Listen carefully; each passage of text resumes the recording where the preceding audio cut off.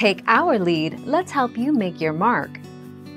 Our goal is your satisfaction. Let us show you the way.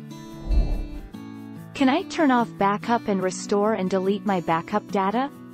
Yes. You can disable backup and restore for any Amazon account registered on your device by going to Settings, Backup and tapping Disable Backup. Once disabled, backup data currently associated with your device and Amazon account will be deleted.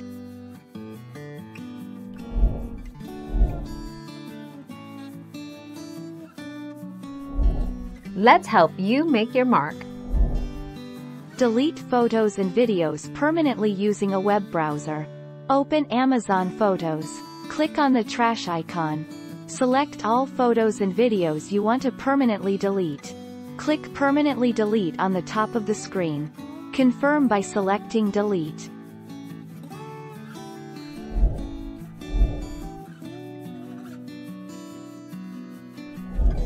Make your mark, take our lead. Google Photos versus Amazon Photos.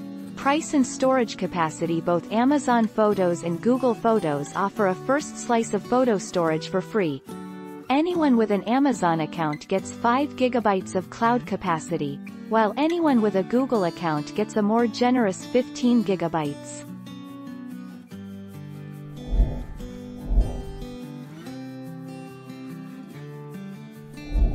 Make your mark, take our lead.